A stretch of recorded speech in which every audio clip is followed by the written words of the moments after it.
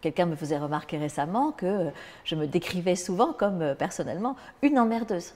Alors certes, c'est un vocabulaire utilisé par les hommes pour décrire les femmes qui dérangent ou qui ont un caractère fort. Euh, on ne dirait jamais ça d'un homme. On dirait effectivement un homme charismatique, euh, engagé, euh, déterminé et exigeant. Avant d'être députée, avant d'être élue, avant même d'être candidate, j'étais directrice de musée. En fait, j'avais un doctorat d'archéologie, d'archéozoologie, et je dirigeais le musée du débarquement du Beach. Donc j'étais dans le milieu très culturel, très historique, qui n'avait rien à voir avec la politique mais où je côtoyais des politiques. J'ai pu voir comment ils agissaient, comment ils travaillaient, une partie de leur travail bien sûr, uniquement. Mais euh, en tout cas suffisamment pour me dire, maintenant j'ai envie euh, d'être à cette place-là, à la place des décideurs. Euh, moi j'étais libre à la fois dans ma tête et physiquement. Libre parce que j'avais soutenu ma thèse, et que j'avais, comme je le dis souvent, mes neurones de libre pour faire autre chose. Et libre parce que j'avais des enfants qui étaient euh, suffisamment grands pour pouvoir se passer de leur mère euh, quelques heures, euh, voire quelques jours. Le frein des enfants, il n'y a quasiment que les femmes qui vont vous dire que c'est un frein. Parce que si j'avais un, mari ou un compagnon, il ne se poserait même pas la question, je pense, de se dire est-ce que mes enfants sont suffisamment grands pour que je puisse me lancer en politique? Pendant la campagne, c'était certainement le plus violent. C'était la période où euh, on s'en prend plein les dents de réflexions sexistes ou bien de euh, non-réflexion, c'est-à-dire carrément d'ignorance. On vous ignore parce que vous êtes une femme et que donc vous n'allez pas réussir à rentrer dans cette, euh, dans cette sphère du, de l'homme politique de 50 ans, blanc et propre sur lui. Donc vous ne faites pas partie de cette image-là, vous ne pouvez pas être considéré comme un challenger crédible.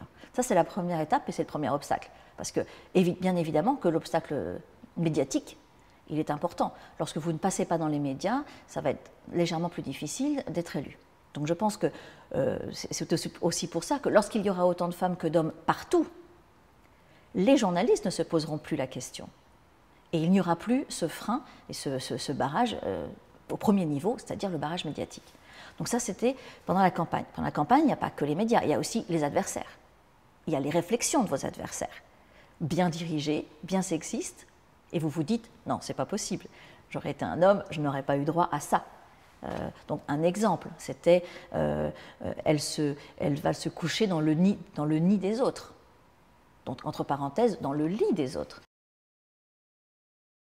Une fois, une élu, vous vous dites ça va certainement changer. Oui, ça change parce que le sexisme a changé. Les phrases sont différentes. Là, vous avez davantage toujours de, députés, 50, euh, 60 ans, là depuis longtemps, hein, dans le temps et bien présent à l'Assemblée, qui vont vous prendre sous, sous leur aile et qui vont dire Alors, ma petite fille, je vais t'apprendre la vie.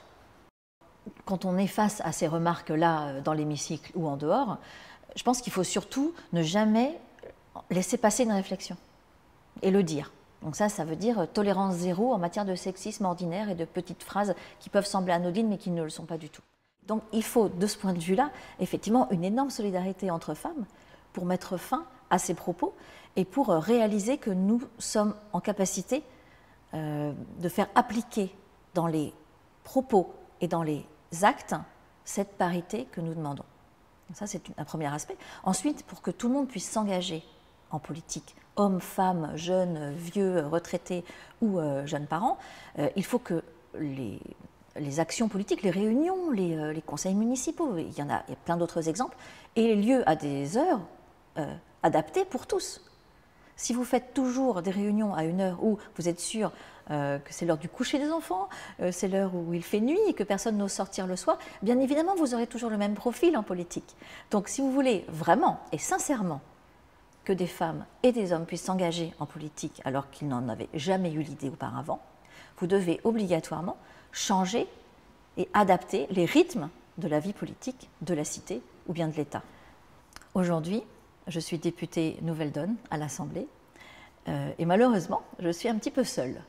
Donc je fais un appel à toutes les femmes, à toutes les femmes qui font partie de ce mouvement, de ce parti politique euh, merveilleux qui a certes un an, mais qui est extrêmement prometteur. Donc à toutes les femmes de Nouvelle Donne qui ont envie de s'engager en politique. Faites-le. Faites-le. Euh, ne vous mettez pas vous-même de barrière. N'écoutez pas les propos qu'on va pouvoir euh, vous tenir pour vous décourager, parce qu'ensuite, vous serez extrêmement heureuse d'avoir euh, franchi le pas, de vous être investi, de vous être engagé pour vous, pour les femmes, pour votre parti politique et surtout pour vos idées.